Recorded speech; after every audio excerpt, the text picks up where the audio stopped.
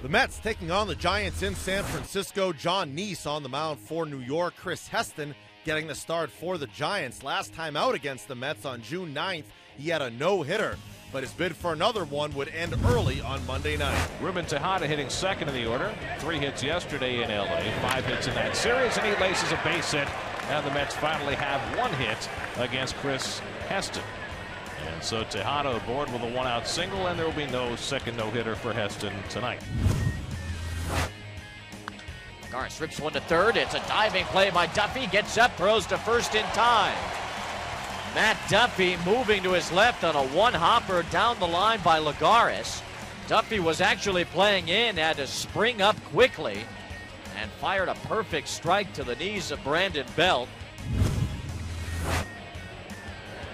One two is a fastball check swing. Cold strike on appeal by Doug Eddings down at third. Jonathan Niese, ladies and gentlemen, 48 pitches to get through five innings. And Buster Posey, he's a three time All Star. He's coming up.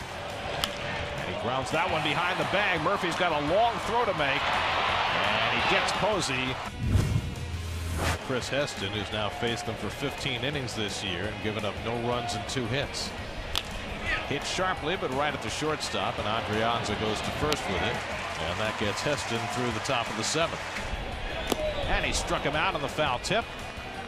Strikeout number four for Niese. Slowly hit down to Tejada, and he gets the force. So Jon Niese continues his brilliant night, eight scoreless innings. Bruce Bochy brings in his closer Santiago Casilla to face the former Giants farmhand Johnny Monell. And Monell pulls one into right field for a base hit, and the Mets have the lead. Cuddyer is in. Nieuwenhuis right behind him. Heading for second is Monell. He has a two-run double, and the Mets have a 2-0 lead in the ninth. The one-two. Swinging a little tapper up the middle. That's a base hit, and around comes Monell. He's going to score.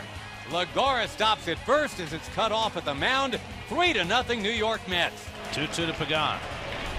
He struck him out, and the ball game is over. Jeurys Familia comes in to save it for Jon Niese. They combine on a three-hit shutout. The Mets' second consecutive shutout. The Mets take it by a final of 3 to nothing. Jeurys Familia picks up his 23rd save. He's an NL Final Vote candidate for the All Star game. His teammate Jacob DeGrom will be heading to the Midsummer Classic. As for the Giants, Madison Bumgarner, Joe Panik, Brandon Crawford, and Buster Posey will all be going to Cincinnati for the All Star game.